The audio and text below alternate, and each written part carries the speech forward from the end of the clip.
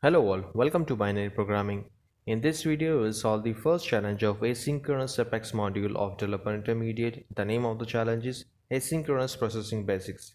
Let's move to the challenge. So we have some theory questions in this challenge. Let's solve the first one.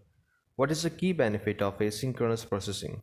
Higher governor and execution limits. So yes, A is the right answer for the first one.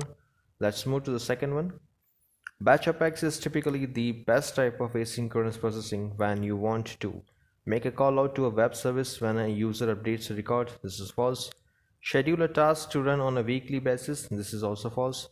Update all records in your org. So yes, C is the right answer for the second one. Let's check whether we have done it correct or not. So yes, we have completed this challenge. See you guys in the next video with a new challenge. Thank you.